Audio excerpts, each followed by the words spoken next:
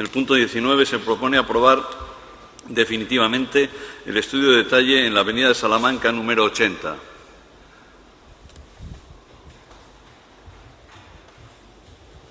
Sí, señora Sánchez. Muchas gracias. En este punto se plantea concretamente el cambio de industria general a uso especial para comercio de oficinas y gasolinera. En primer lugar, queremos advertir que la documentación completa sobre este punto no estaba disponible cuando se convocó el, Pleno, ya que el viernes se nos entregó el informe de la ponencia técnica del Consejo de Urbanismo. Una vez apuntada esta cuestión formal, hay que decir que este punto llega al Pleno tras rechazar la única alegación presentada, en este caso de nuestro grupo municipal. En dicha alegación se pretendía que se ofrecieran garantías de que no se van a producir efectos de contaminación y seguridad nocivos para las viviendas del entorno al instalar una gasolinera en la parcela como se pretende. Para argumentar la desestimación de esta alegación, eh, se dice que las garantías vienen de la mano de la concesión de licencia ambiental por parte de la Junta de Castilla y León allá en el año 2009. Este argumento, desde nuestro punto de vista, podría ser válido si no fuera porque en la alegación que presentamos introducimos un nuevo componente. Estamos hablando de un estudio publicado un año más tarde, en el año 2010, de la concesión, es decir, la concesión fue en 2009, en 2010 se publicó este estudio que fue realizado por investigadores de la Universidad de Murcia. Este estudio demuestra que las gasolineras se registran niveles de algunos compuestos orgánicos, como el benceno, que incrementan el riesgo de padecer cáncer.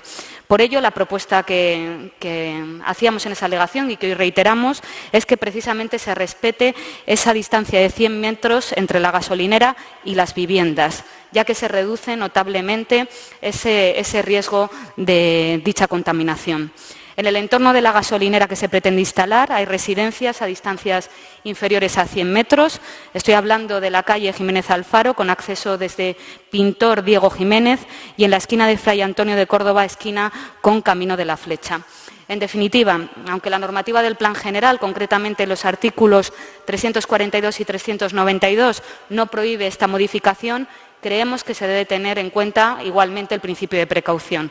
Y aquí le pedimos, señora Vidal, que no confunda una vez más el alarmismo social con el principio de precaución, porque son dos cosas distintas. Creemos que los estudios están para, que, sirvan para algo, para que las administraciones públicas los tengamos en cuenta.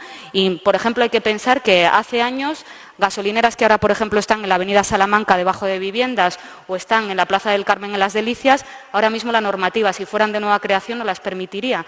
Por tanto, entendemos que creemos y lo que les pedimos es que estén abiertos a, a mirar estos estudios para ver cómo podemos avanzar y, y ser lo más prudentes posibles. Muchas gracias. Muchas gracias, señora Sánchez. Muchas gracias, señora Vidal.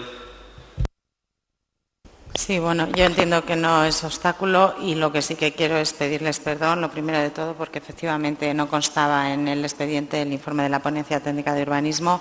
Yo creo que sí que se lo enviaron, pero porque así me lo dijeron que se lo habían enviado, pero por si acaso me, enteraré ahora cuando, cuando vuelva al despacho. Y señora Sánchez, usted también tenía razón al denunciarlo. Dicho esto, yo les, aseguro que nosotros no confundimos entre alarmismo y el principio de precaución, más bien es al contrario, con lo cual no voy a entrar a debatir sobre eso. Eh, ya lo ha dicho usted todo, le hemos contestado a las alegaciones, le hemos indicado que desde el punto de vista urbanístico ya estaba y ya era compatible en la ordenación detallada anterior y que las garantías que son necesarias y que se solicitan sobre la contaminación y los efectos no, nocivos que pueden producir la implantación eh, de, de estos negocios ya fueron evaluados en el expediente de licencia ambiental. Por tanto, nosotros ahí no tenemos nada más que decir. Respecto al trabajo que alude usted, que yo sí que me lo he leído, lo, saqué de Internet, pues hombre, hay, matizaciones respecto de la interpretación o los párrafos que lee usted y otros párrafos intermedios que hay ahí que ustedes, no leen.